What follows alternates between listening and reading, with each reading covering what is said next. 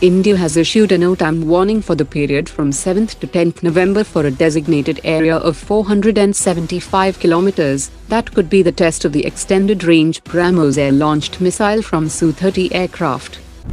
Andaman and Nicobar Command is conducting a joint special forces training camp for enhancing the inter-force collaboration.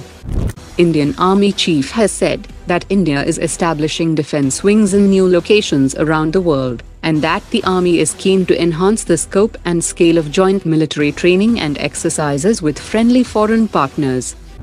The Royal Air Force has made a remarkable return to Hyderabad Airport for refueling, marking the second visit to Hyderabad this year, further solidifying the amicable relationship between the UK and India. South Korean Defense Research Agency has recommended reducing in the initial production units of the KF-21 by half and this decision stems from concerns regarding price competitiveness and project uncertainties associated with the KF-21 program.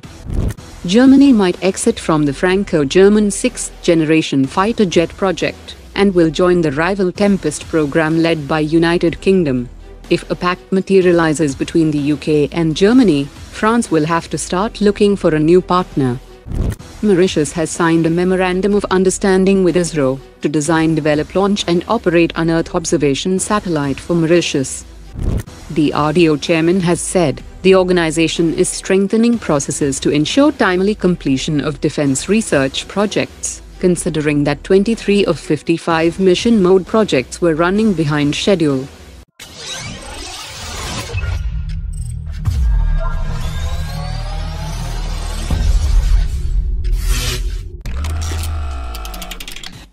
Safran has said that the DRDO Safran 110 kN engine will be ready for flight trials by 2029, and its significance extends beyond the AMCA Mark II, as the engine is also earmarked for deployment in the TED-BF and AMCA Mark I fighter jets in later phase.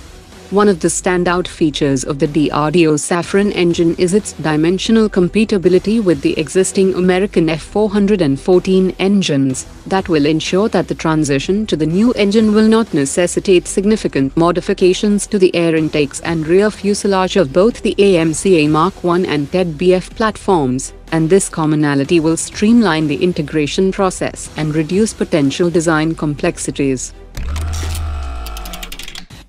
The Director General of Russia's United Shipbuilding Corporation has said that two advanced Talwar-class stealth frigates are now expected to be delivered to the Indian Navy by May 2024 and October 2024, which was originally expected by December 2022 and July 2023. Goa Shipyard is also building two advanced Talwar-class stealth frigates that will be delivered by 2026 and 2027. This procurement will mark the conclusion of an era, signifying the last warship that the Indian Navy will acquire from Russia. According to media reports, India had not planned an outright purchase of American nuclear attack submarines, but it aimed to secure assistance from the United States in advancing its own indigenous SSN program, but unfortunately, India's endeavors to access American submarine technology have hit a roadblock. India was hopeful of securing a partial transfer of the advanced technology offered to Australia under AUKUS alliance, but this prospect has been firmly denied, and the United States has chosen not to extend such technology sharing to India, after which Indian and French officials have initiated discussions to explore the possibility of acquiring next-generation propulsion technology for Indian nuclear attack submarine program private sector companies will hold a substantial stake in the newly formed special purpose vehicle for the production of Indian multi-role helicopter and deck-based multi-role helicopter, and officials have said that this venture is expected to secure an order for 400 units, ensuring the sustained operation of production lines from 2031 to 2045.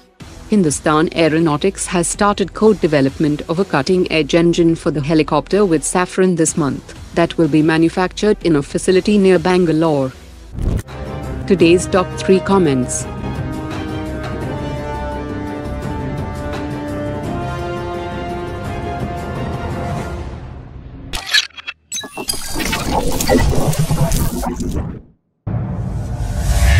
Omar dropped it.